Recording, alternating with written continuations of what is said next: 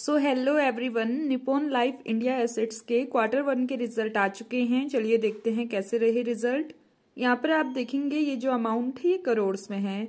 बात करूँ मैं टोटल इनकम की, आप देखेंगे ये 471 से 635 हुई है। ईयरली बेसिस में मतलब इंक्रीज हुई है। क्वार्टरली बेसिस में भी 560 से ये इंक्रीज हो गई है।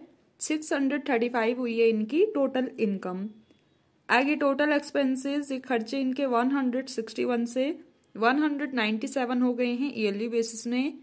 एंड क्वार्टरली बेसिस में भी 186 से ये इंक्रीज हो गए हैं 197 हो गए हैं इनके टोटल एक्सपेंसेस सो यहाँ पे डायरेक्टली बात कर लेते हैं टोटल कॉम्प्रिहेंसिव इनकम की।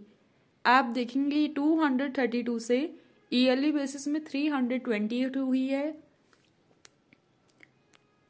सो यहाँ पे डायरेक्टली बात कर लेते हैं टोटल कॉम्प्रिहेंसिव इनकम की। आप देखेंगे ये 232 से 328 हुई है ईयरली बेसिस में एंड क्वार्टरली बेसिस में 344 से ये डिक्रीज हो गई है। 328 हुई है इनकी टोटल कॉम्प्रिहेंसिव इनकम सो देखा जाए यहाँ पर रिज़ल्ट इनके ईयरली बेसिस में सही रहे लेकिन क्वार्टरली बेसिस में प्रॉफिट इनका डिक्रीजिंग फ़ेज़ में रहा।